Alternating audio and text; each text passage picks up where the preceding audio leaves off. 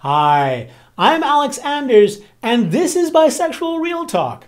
Every so often, I do a video that I'm so proud of. Are you bisexual quiz? Five stages of bisexuality. Today is one of those days because I'm going to be talking about the three levels of bisexual visibility. But before I do that, I'm going to mention that if you stick around till the end of the video, I will be airing a four minute sample of my latest audiobook, Get Him to Fall in Love with You and Stay in Love. And before you jump to any conclusions with the title, it will apply to everyone, whether you're male, whether you're female, whether you're attracted to men or women, whatever else. You know, marketing, so that's why I put him in there. But it's a nonfiction book and it's a really great one, uh, but more about that in the video.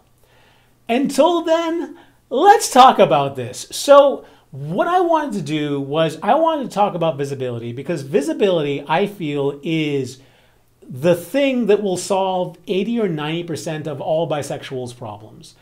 Visibility. And I can't talk about it unless we have a common language on it. And when I started coming up with the video that I was going to talk about it, and I realized, oh, wait, we need some way of determining what visible being visible means and all that stuff. So today I'm going to be giving you the three levels of bisexual visibility. And when I talk about the levels of visibility, and you know, this is a fun kind of like follow along sort of thing you can do. What I'm referring to is what you're comfortable with. So there every so often we go and we push ourselves out of our comfort zones in terms of our visibility. I'm not talking about that. I'm talking about the thing that you are willing to do that you're willing to commit to because it's not a big deal for you. So I'm talking about your level of comfort. Now, the three levels of bisexual visibility can be broken down to three categories. Those categories are basically how, where, and when. Um, and to kind of break it down a little more, it's basically who will understand it, who will see it, and how frequently you do it. So um, let's start with each category and go through them. The first category is how. How has three levels to it.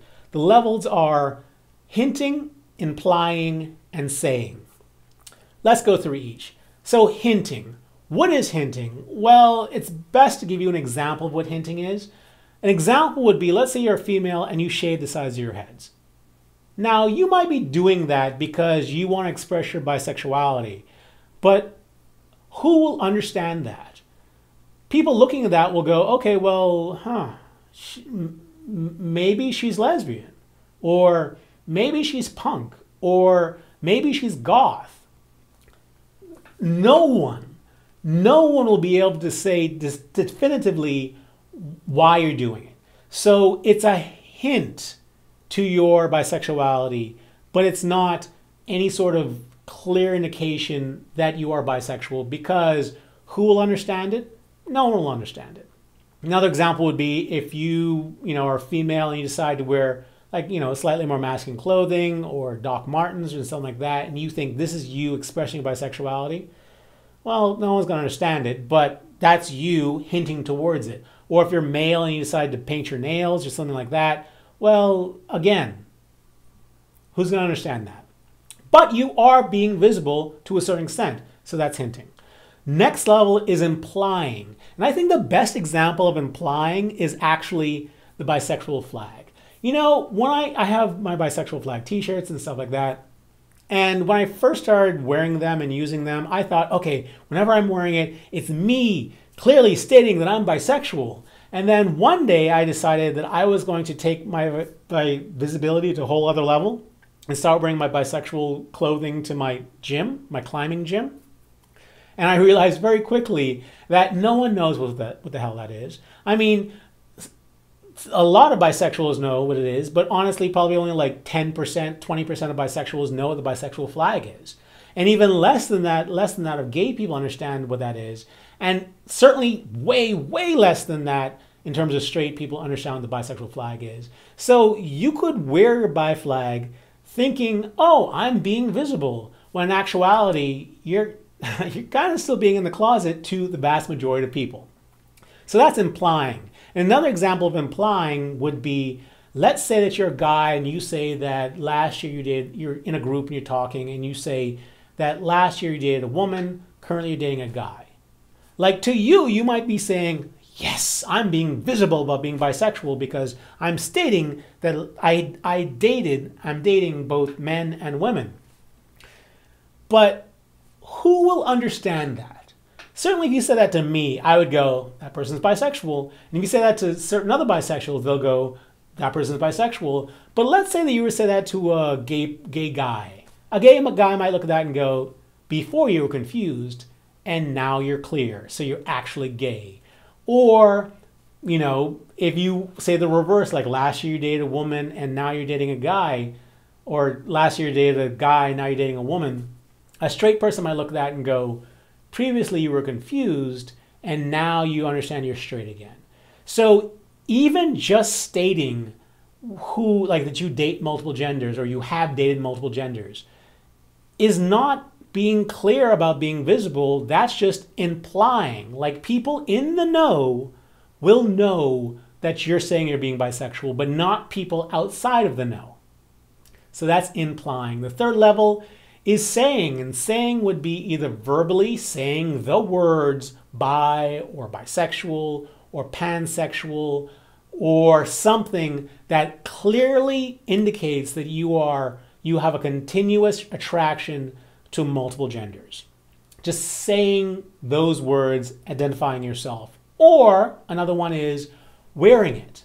Like I have my bi mode t shirts. I have a shirt that says famously bisexual. I have a shirt that says uh, MMF, which is male, male, female. Now that's still kind of implying because it's, you know, who's in the know for that.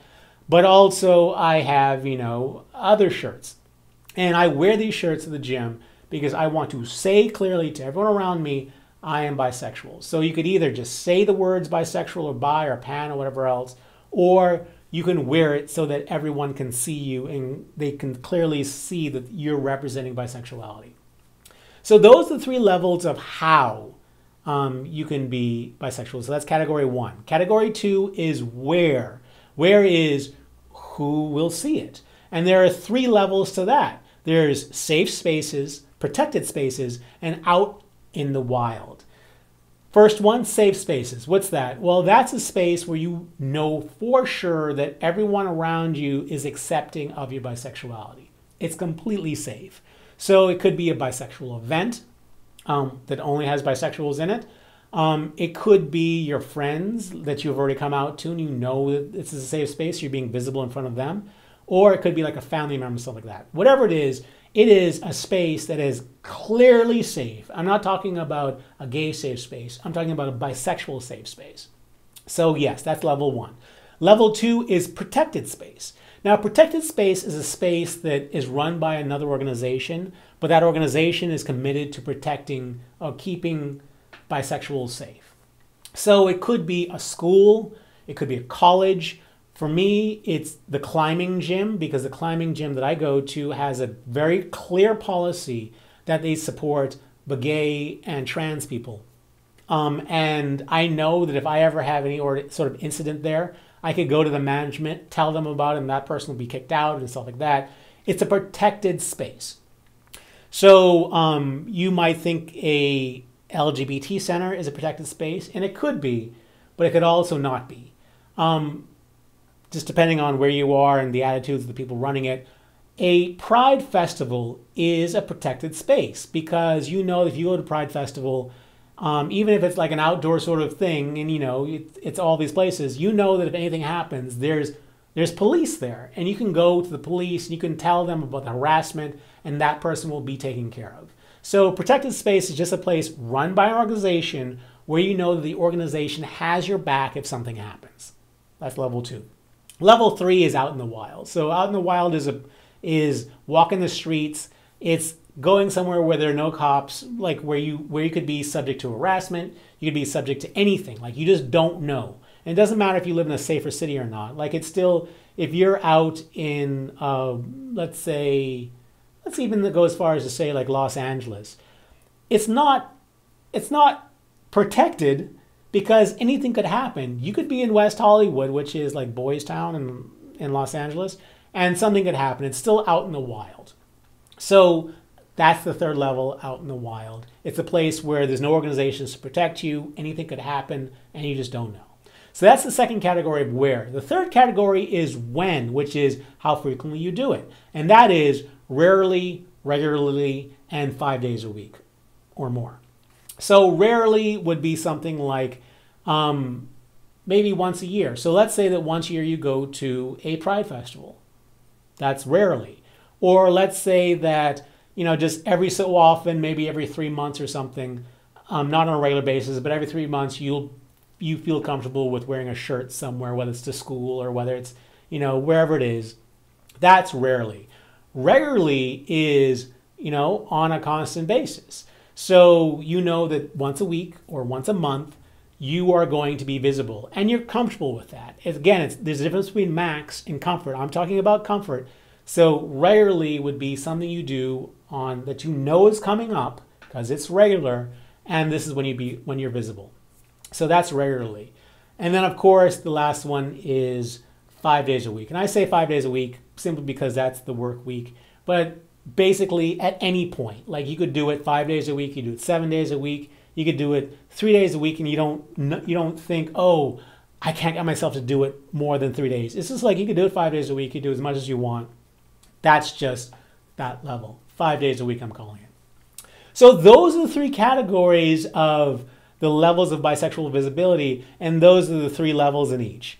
Now, why is this helpful? Well, this is very helpful because now we can communicate with each other. Like we have criteria, we have ways that we could maybe, like if we want to be more visible, we have ways that we can apply it.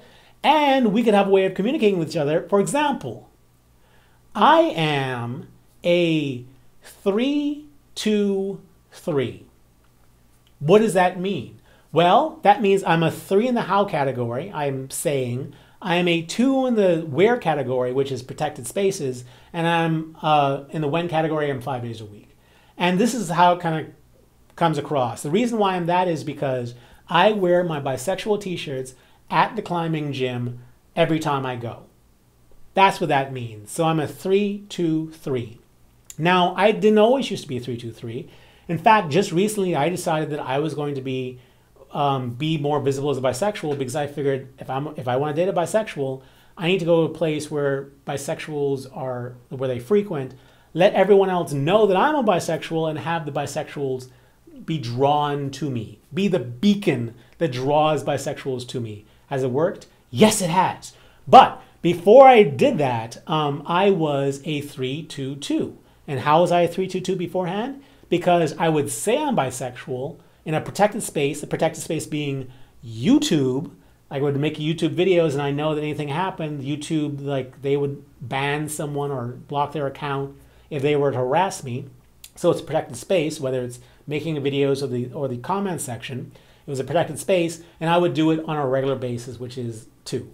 So I was a 322 previously, and then I decided to max, like go beyond my comfort level by wearing my shirts at the gym. And even though that you know I was doing it, I was still a 322. And then I just became so comfortable with it that I went from like my max at that time was 323 because, you know, I was doing it like I was actually it was 321 because I would do it rarely. Um, that was my max level. But because I didn't, I pushed myself past my max level, or I was past my comfort zone in so many times I went up a level, which is now three, two, three. So that's how it applies. So if you want to talk with someone else about, you know, your levels, if you want to have a conversation in the comments section where you share what your levels are, you could just use the numbers, you know, you could use the numbers from one, the first column, the second column, the third column. If you are in the closet, then obviously you're a zero.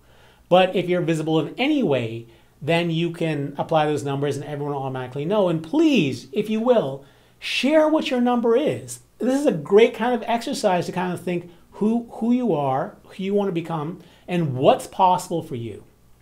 And next week, I'm going to tell my story about like how I have been pushing myself to be more visible and the the effects of being visible and all that stuff. Just a short kind of sample is when I decided I was going to be more visible and I wear my t-shirts, I have a shirt that says famously bisexual on it. And I thought, okay, well, how can I kind of like push my limits a little bit in terms of my comfortable my comfortability with being visible?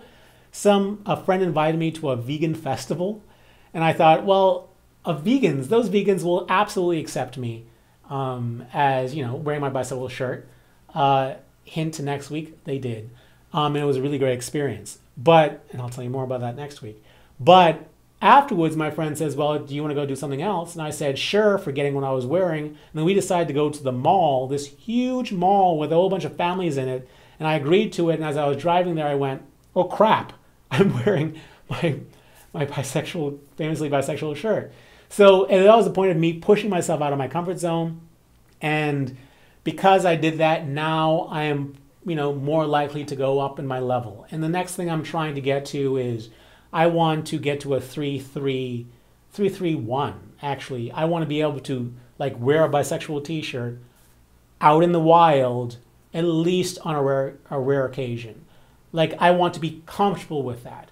I can do that now in terms of pushing myself out of my comfort zone, but I want to become comfortable every so often throwing on my a bi t-shirt and going to the grocery store or the mall or hanging out with friends and be comfortable with it.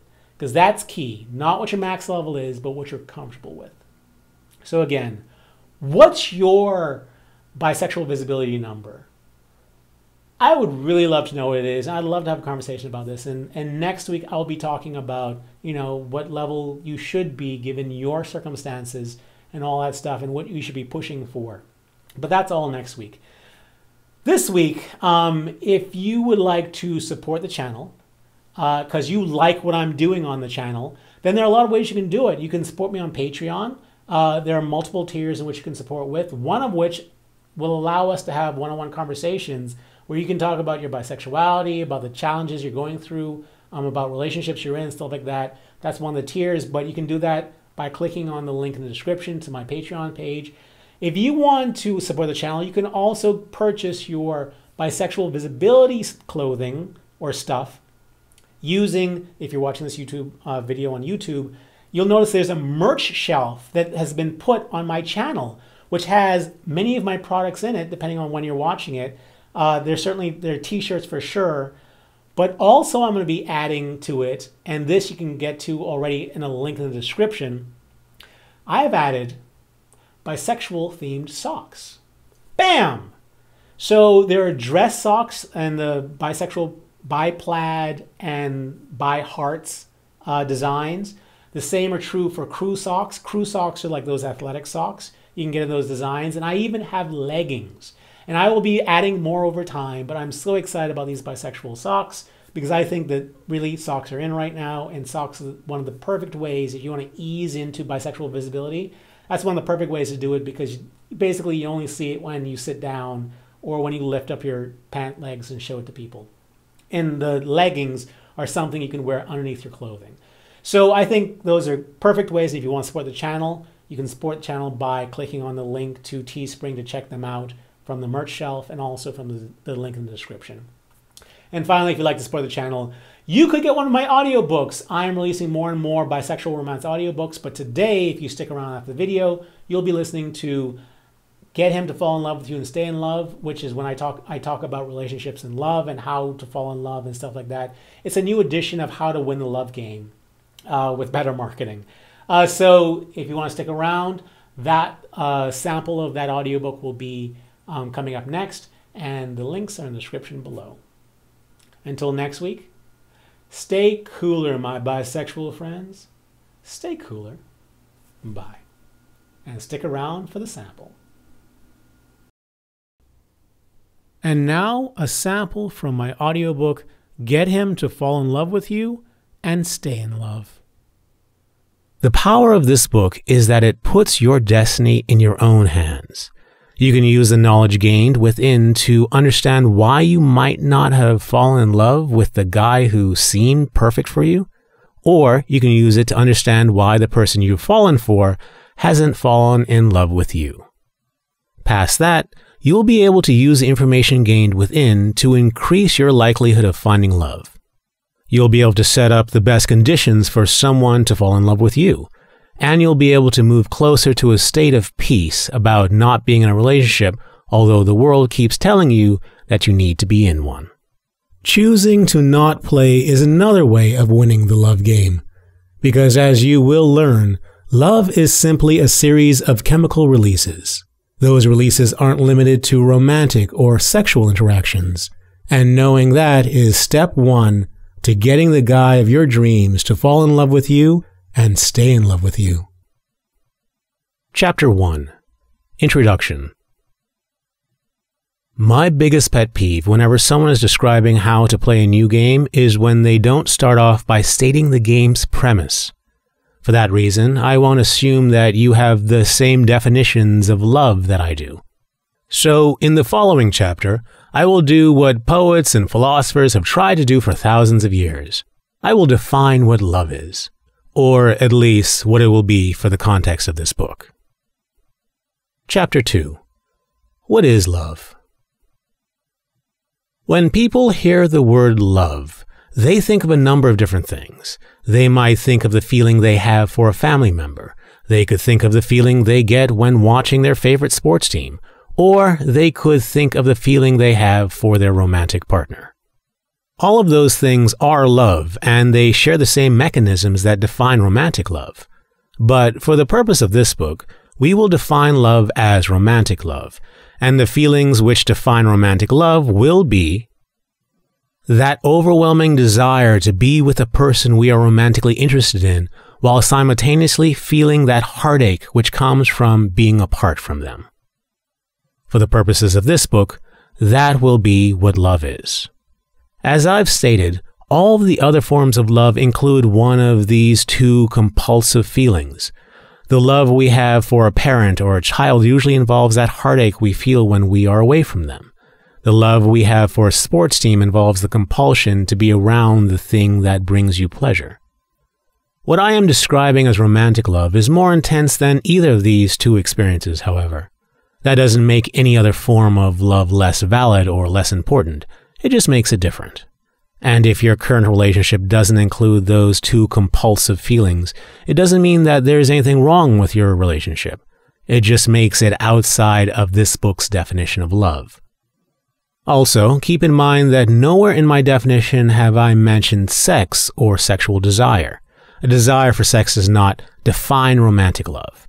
Sure, you might want your relationship to include sex, but this isn't a book about how to win the relationship game or the sex game. This book is strictly about how to win the love game, and you don't have to want to have sex with someone to become overwhelmed by your desire to be with them while feeling heartache when they are not around. Chapter 3 Love Chemicals You've been listening to a sample from Get Him to Fall in Love with You and Stay in Love. The full audiobook can be gotten on iTunes, Amazon, and Audible and the links are in the description for the podcast. Enjoy.